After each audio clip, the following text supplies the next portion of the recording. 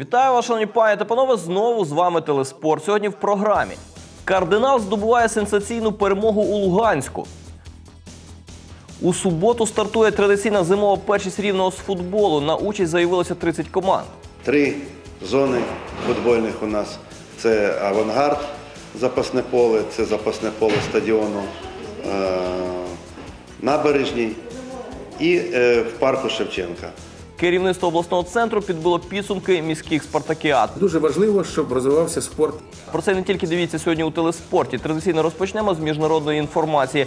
Восьме та двадцяте місця посіла на стартових двох етапах Кубках світу з акробатичного фрістайлу рівнянка Ольга Полюк. Ці змагання відбулися у Китаї та Канаді. Щодо канадського старту, то він був найгіршим для нашої спортсменки за останні три роки. Черговий етап на 25-річну літаючу лижницю очікує наприкінці цього тижня в американському Лейк Плейсиді. Головний тренер голландського клубу Меджиро Джим Андре Манарт завітає наприкінці лютого до Рівного на запрошення обласної федерації кікбоксингу Будокан. Як розповів керівник Будокану Ростислав Саєнко, тут голландець проведе семінар, а також перегляне місцевих бійців під час спарингу з луцькими кікбоксерами. Щодо Меджиро Джим, то це навіть не клуб, а мережа клубів з центром в Амстердамі по усьому світу, яка культивує ММА, тайський бокс, К1 та інші єдиноборства. Його кольори представляють такі всесвітньо знані майстри К1, як Ернесто Хуст, Ремі Боняскі, Енді Сауер. Цього року за Меджиро Джим в змаганнях серії Гран-прі з тайського боксу виступатиме рівнянин Марк Ліщук. Саме він і звів голландського фахівця з рівненськими кікбоксерами. Рівненський кардинал, як ніколи, порадував своїх вболівальників. Наші міні-футболісти розгромили у Луганську ЛТК 5-0. Забивши голи наприкінці першого та початку другого таймів, рівняни змусили господарів йти в банк. Як наслідок, луганчани отримали ще два голи у порожні ворота. Крапку у грі на останніх секундах поставив Олександр Бондар. Крім нього, у нас відзначилися Олександр Басіч, Олександр Вершинін, а також двічі Андрій Чернієнко.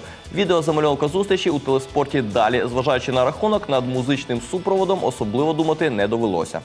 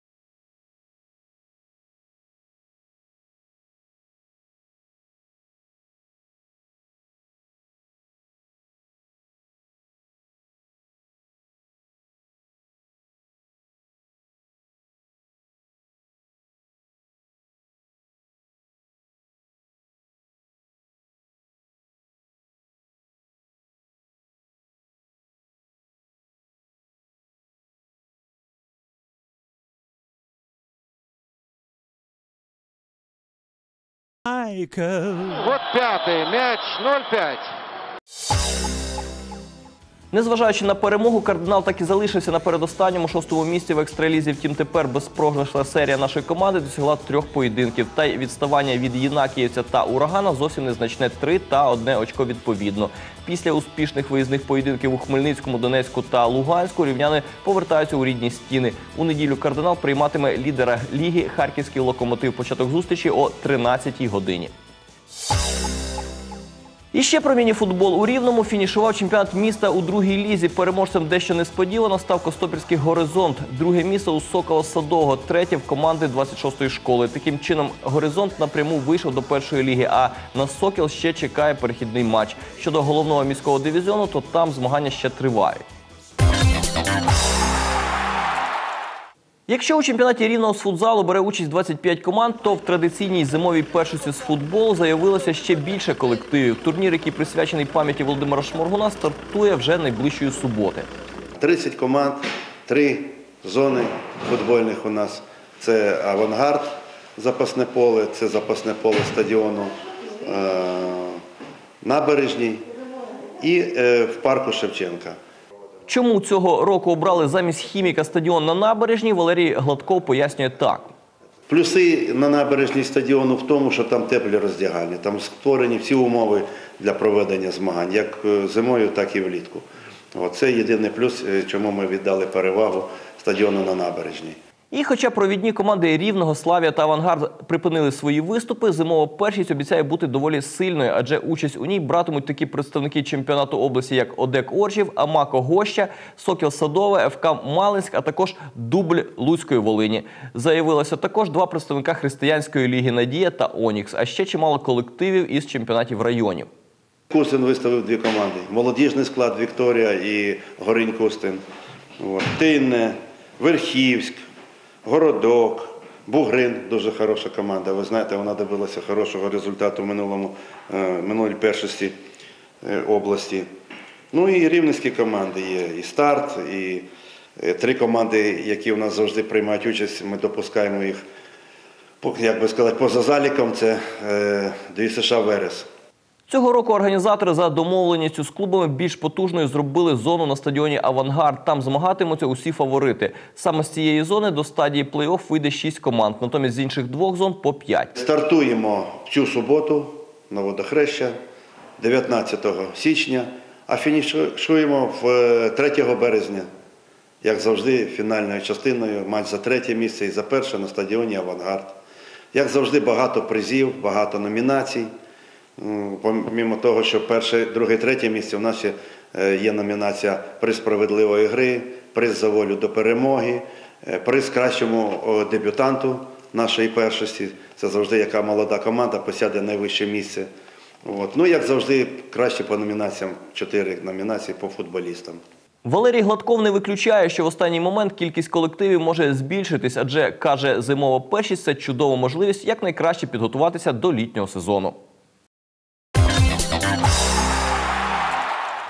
І ще про футбол. Дубинчанина Віталія Приндету тренерський штаб молодіжної збірної України викликав для участі у Кубку співдружності, який 18 січня стартує у Санкт-Петербурзі. Для 19-річного півзахисника Луцької Волині це буде дебют у складі молодіжки. Хоча до цього Приндета вже грав за збірні Ю-16, Ю-17 та Ю-18.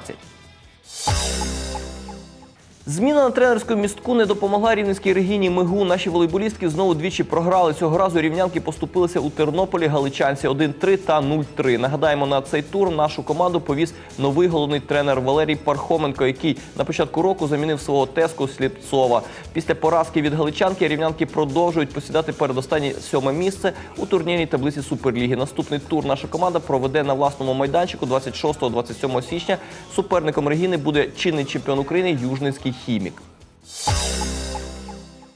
Хокеїсти рівненського фаворита у черговому турі західноукраїнської аматорської хокейної ліги програли хокейному клубу Луцьк 4-9. Програючи 0-3, наша команда змогла скоротити відставання до 4-5, але наздогнати суперника їй не вдалося. Шайби у рівнян забили Василь Чичук, дві Павло Бернацький та Валерій Стасюк.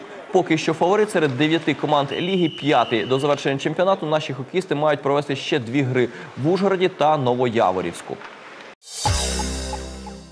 У Рівному підбили підсумки спартакіад. Їх у місті протягом року приходило одразу кілька серед вищих навчальних закладів різних рівнів акредитації серед школярів та вчителів, установ та організацій. Нагородив переможців особисто міський голова.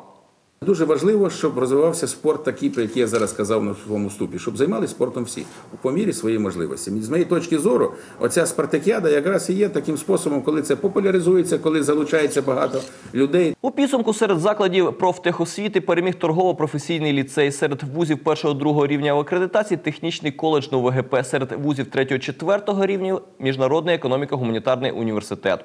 Тут нічого дивного немає, що вузи е, не тільки навчають, от, бо першочергове завдання, звичайно, це є освіта, це є якісна освіта, чому приділяється велика увага, де я, звичайно, контролюю. А тут я практично не контролюю, тому що є серйозний колектив, сформований, який знає свої завдання, який працює над своєю метою.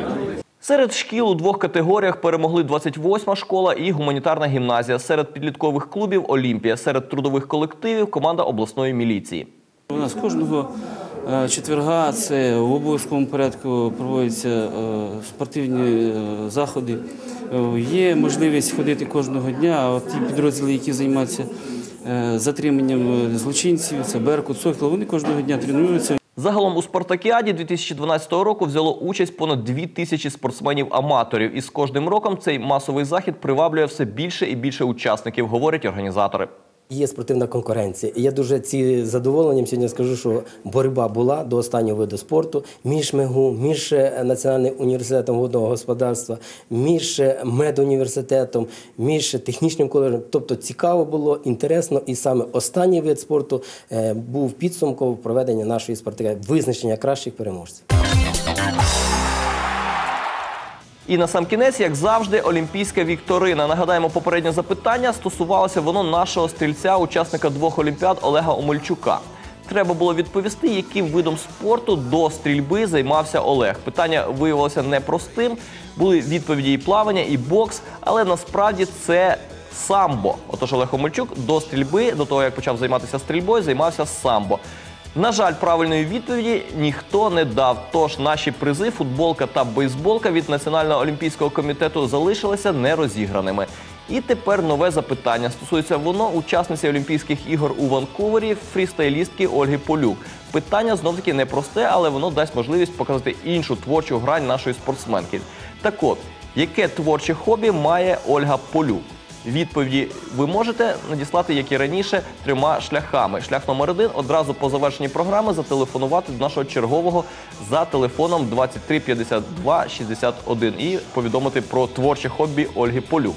Шлях номер два написати повідомлення на електронну адресу служби інформації телеканалу РТБ newssobaka.rtb.rovno.ua.